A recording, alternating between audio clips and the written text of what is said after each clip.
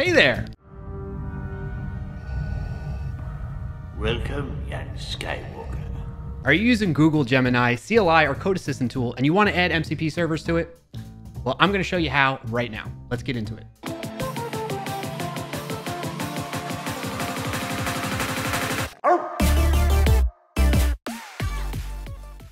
All right, we're going to get started by using Google Gemini in the CLI, command line interface. I'm in my project here. You get in your project. I'm going to assume you're already signed into your Google account that has access to Gemini, and you can run Gemini MCP. And that gives you an idea of what you need to do in order to get started with adding an MCP server. So the one that I'm going to be adding is the Snyk MCP server for doing security scans. And the way I can add that for this is a number of different ways. But the one way I'm going to go with it is Gemini MCP add I'm going to give it a name of Snyk, and then I'm going to pass in the command and argument. So the main command here is I'm going to leverage npx that I have already set up, which is the same way that I installed Gemini, and then I'm going to pass in the proper arguments for my MCP server. So in this case, it's hyphen y, it's snyk at latest. So we use the latest version of the Snyk CLI. We're going to use the MCP command in that, and then we're going to pass in some arguments. This is, again, specific to this MCP server tool. I'm going to tell it the transport protocol is STDIO, standard uh, input output. And I'm going to hit enter. And we're going to give that a second, and we can see that it was indeed added. So now if I run Gemini MCP list, we should see Snyk listed on there and that it is connected. Now, if there were any issues, maybe you got your arguments incorrect or wrong, let me show you an example of what that looks like if things are not working correctly so you understand. So if I added this in this way, and then I'll use the other protocol like SS, SSE that I'm not using right now. And I hit enter on that, we can see it got added, but if we go and run Gemini MCP list, we'll see that the Snyk 2 one, the one that I intentionally got wrong, says disconnected. So keep an eye out for that. MCP list, Gemini MCP list is the command you want to use after you add it to verify that it was added successfully. All right, so what if you did add that unsuccessfully? It's not working. How do you remove that broken one and then figure out how to fix to the next one? Well, you're gonna do Gemini MCP remove, and then you just pass in the name that you had used when you created it or added it. Okay, so that should be removed now. So if I run Gemini MCP list, we can see it's just the one that is working that's there now. So there you go. That's how you add and remove MCP servers and make sure that they are working as expected and connected. Now, one thing to note with this is that I set up this MCP server using Gemini in the current project folder that I'm working off of. So in this case, it's this dev discord wordlebot. And what that results in, if I show you the folder here, is there's a new .gemini folder, and in there results in a settings.json file, which has the contents that look like this. So if you wanted to, instead of using the CLI, you can manually create a .gemini folder in the root directory of your project, add a settings.json file, and then add in the proper information into this JSON file using the MCP server's object, their JSON object, following this standard here like this. Now, the reason I call this out is that this is isolated to this project. So this MCP server that I've set up for Gemini to use and leverage is only going to be available in this project. So if I go to another project, it won't be available. So if you want to actually have this available across projects, you need to set it at the root directory of your user account for the operating system you're working on. Well, what does that mean? Let me show you. So for me, I'm working on Windows using Git Bash. So your experience may be slightly different from me if you're on a different operating system or using a different shell on Windows. The way you can double check whether you have a configuration settings file for Gemini at your root user account more globally is by running ls tilde slash dot Gemini. You're to search for Gemini and you're to search for the settings JSON file right? And that is indeed there. I know I can see the full path now that that is there, and I can open that settings JSON file and add in that MCP server configuration. In fact, I could copy and paste this one that's specific to and local to this project. I can copy and paste this one into that settings JSON file for the root global user so that it gets applied and available to other projects that I'm working on on this machine. All right, with that out of the way, now it's time for us to use Gemini with our MCP server that we just set up. If you are using Gemini CLI within Visual Studio Code, it will give you this prompt to ask if you want to connect VS Code Editor to Gemini CLI. In this case, just for now, I'm going to say no.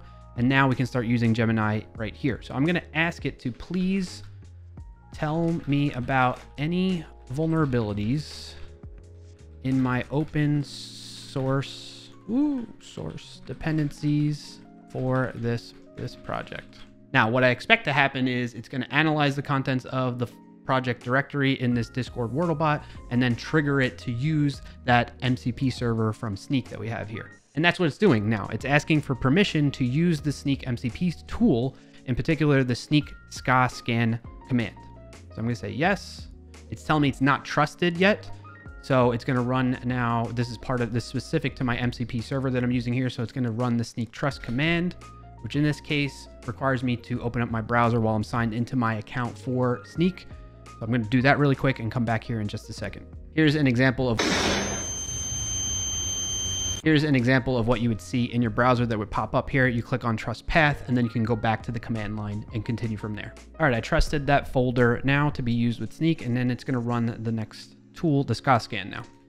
All right, so Gemini finished using that MCP server from Snyk, uh, running the SCA tool to scan my open source dependencies, found some vulnerabilities that are in there, and then Gemini analyzed that and told me that it found two vulnerabilities. One is high severity and the other is low severity. The recommended fix for both is to upgrade my dependency of discord.js to version 14.20.0. And then it's asking if I want to have Gemini attempt to do the fix for me by upgrading it. So I can go ahead and do that and move forward, but I actually don't want to do that just yet because the next step from here is I want to show you how you can leverage MCP servers in Google's Code Assist extension in Visual Studio Code. All right, so to get started using the Google Code Assist extension in Visual Studio Code, you need to install that in there. You can open up the extensions marketplace view in VS Code and then search for Gemini and you'll find this one, Gemini Code Assist. And you'll have an install option here like I do. It's telling me to restart to get an update and extension. So I'm gonna do that really quick. Looks like that's all set to go.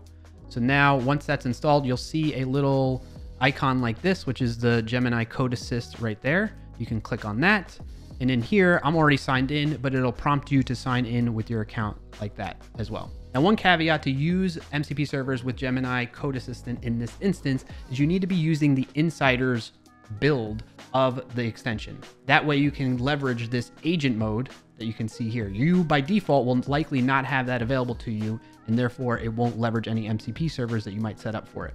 So to get that, I'm gonna show you right now. You need to go to settings, you can do that by going into VS Code settings by pressing Control comma or Command comma on Mac OS. And you're going to search for Gemini Update Channel in there. And what you want to do is look for this one right here and you want to click this drop down. It'll be on default by default. You're going to switch to the insiders option. And then what that's going to do is it's going to let you know that in the background, it's going to install the updated version for that insiders build of the extension, and then probably prompt you to restart your extensions in Visual Studio Code. Then once that's all done, if you open up the Gemini Code Assist extension here, you should see this agent toggle button available to you. You're going to click that on, and then you're ready to go. Now, what's nice about this is it will automatically leverage this Gemini settings JSON configuration that we have here because we're working within this project folder. So Gemini in agent mode will leverage our MCP configuration via that settings configuration that we've set up from the CLI earlier. If you didn't do that in the CLI, you would have to manually come in and add that, like we said before, in this way for your MCP server that you're trying to add.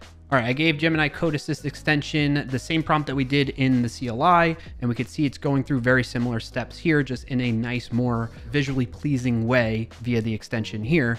So we could see that it can first check to see if we are authenticated with Snyk. I'm gonna let it go ahead and do that. All right, so it came to the same conclusion that the CLI version did in that we need to upgrade Discord.js to version 14.20.0, and it's requesting to make edit changes to my package.json file so that we use that version for this project. So I'm going to click accept. Then I'm to run install. And then in this case, it upgraded to the newer version of 14.21.0. All right, so what I'm going to do now is let's verify that we no longer have those vulnerabilities. So I'm going to ask it to double check the vulnerabilities again to be sure of that.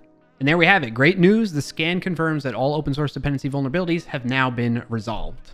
So there you have it. That's how you get set up with MCP servers in Gemini, whether you're using the CLI or the Code Assistant extension for your IDE. If you're curious about Snyk and the MCP server capabilities of it, check out the link in the description below. That does it for this video. If you got value out of it, be sure to like it down below and share it with somebody who could put it to use. And if you made it this far, subscribe to the channel so you don't miss out on upcoming videos. Thanks for watching and happy, safe coding, everyone.